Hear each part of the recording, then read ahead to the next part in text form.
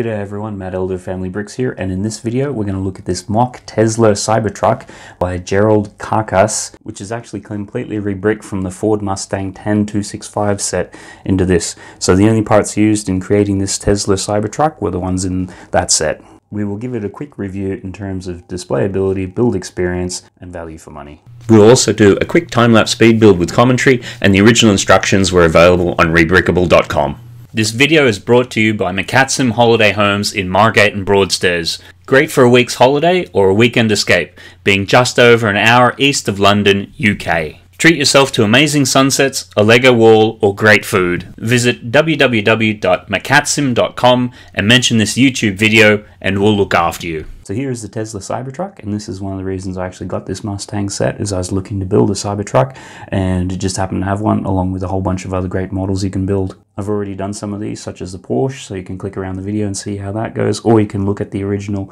review on the Mustang itself to see what that's like.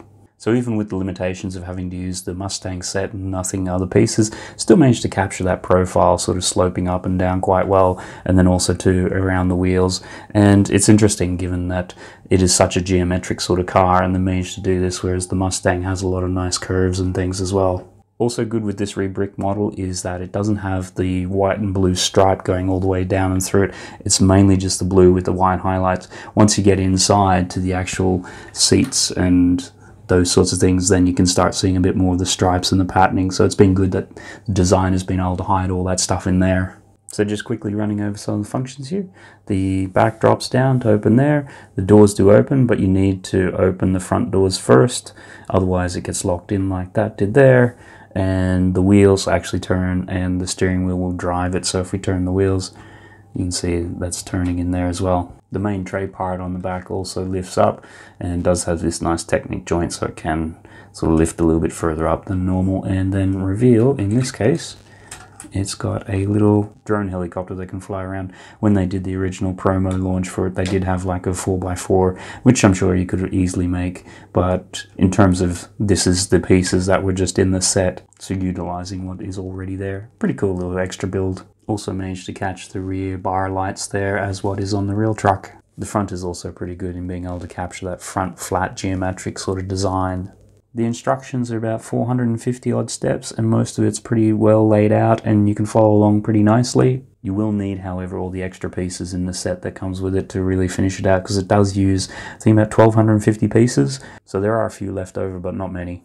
As with any of these designs which are built solely from previous sets, there can be a few little weak points in it. In this case, the doors, they really only have one single hinge holding them together in each one, so you do have to be a little bit careful with that. Also to the back here, if you grab it in the wrong place, it does feel a little bit flimsy and start to give way on you once you build up some of these side details here, if you do bump them the wrong way, you've generally got to take the wheel off and then put it all back together, which can be a little annoying. The base has a pretty strong Technic frame and I find with a lot of these ones when you grab them from the wheels you can move them around pretty easily. The build on this was also quite interesting because you start off with the bottom Technic frame and then it's like you're doing another frame on top of it so it is quite rigid and structured. I find the easiest way to move them around is to slide your fingers underneath the front and then just sort of move it like that or however you need to get it around. That seems to be the strongest point. In terms of displayability this model is great and probably what you'd actually build it for. I mean particularly with that side sort of profile there you're getting that that real Cybertruck sort of feel. In terms of playability, this model isn't really designed to be played with, so it's going to be more something you just have sitting on your shelf. In terms of value for money, the instructions are on Rebrickable for about 9 US dollars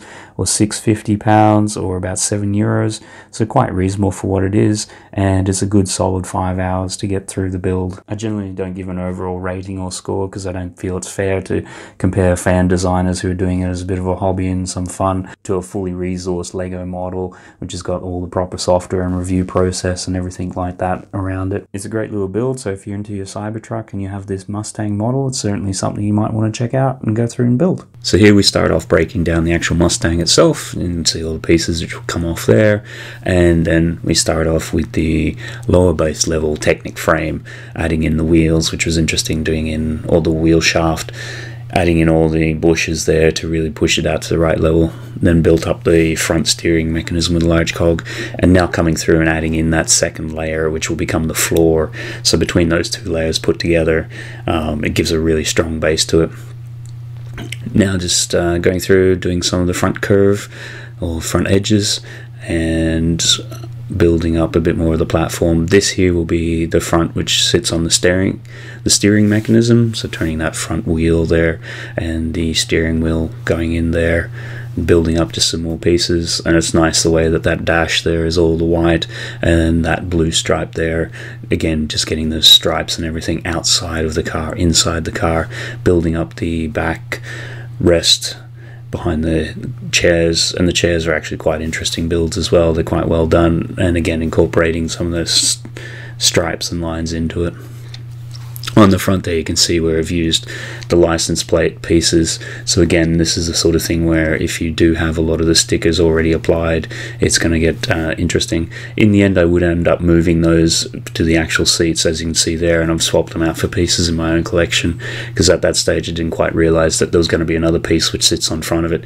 So if you do have the stickers and the license plate, you can hide it in the, under there and then it was good when you're building up those rear angles. It just to hide a lot of those stripe printed pieces again in inside the actual rear tray. And here you're going through building up one of the doors and you can see there the license plates then being down at the actual sort of footrest. So not the end of the world but it's just not as clean as it could be. Putting on some of the doors because there are only so many hinge joints in the whole set, as we said earlier, there's a bit of a weakness there. And then going through building up some of the front, it was good the way that they did the front windscreen. You double it up, but you use a lot of the hinge pieces to get the angles. And then here, building up the roof and then the tray which opens. As you can see, they originally put the license plates on the the top there, but I would end up swapping them out with uh, pieces I had in my own collection. Although I did didn't have exactly enough, so one of them would end up being put on the side door and the quick little build for the drone. If you've enjoyed and or gotten something out of this video, then hit that thumbs up button and or consider subscribing. Is this a set you own and do you think you'd be interested in building this? Sound off in the comments below. Or just leave the word Cybertruck and we'll know you watched the whole video. What alternative models should I review next? Or if you're a fan designer and would like me to check out one of your builds, drop me a line at matt at mattelder.com. Here is a review of the Mustang Porsche Mach. This is a review of the base Mustang set that this was used to create this Cybertruck in this video. Otherwise, here are some other alternate builds of the Mustang. Otherwise, this video may be of interest. Thanks for watching, and that's it from us here at Family Bricks. Until next time, when we talk about all things LEGO and lifestyle.